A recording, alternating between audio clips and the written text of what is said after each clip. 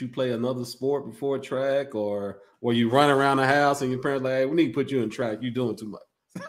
um, I played soccer my whole life, so that's kind of where I grew my cardio base. Okay. And track my freshman year of high school on the side of soccer just to like get faster and um, get in shape. So I didn't take it very seriously until about my junior year. And this year I quit high school soccer. I was on like an ECNL team, but I just fell in love with track and I was better at it. I had more likely chance of going to college and I love my teammates and I love the environment. So I honestly I honestly really started last year. Oh really? Yeah. Nice. Okay. Okay. Yeah. Yeah. Nothing wrong with that at all. Um, time time again, I some start their senior year too. So hey, hey, Yeah. shout out to you, and you got a scholarship. hey, that's hey, that's what's up. Good job. Good job. I know I never thought yeah, yeah, anything could happen with hard work for sure, for Mhm. sure.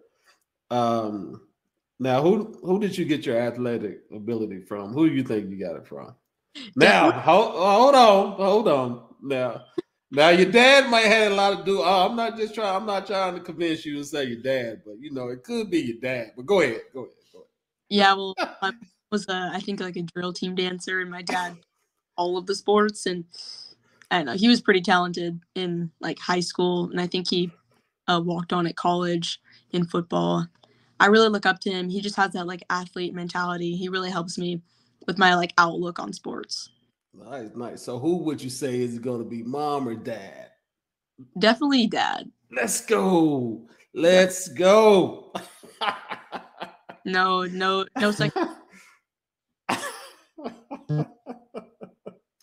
All right. Um, let's see.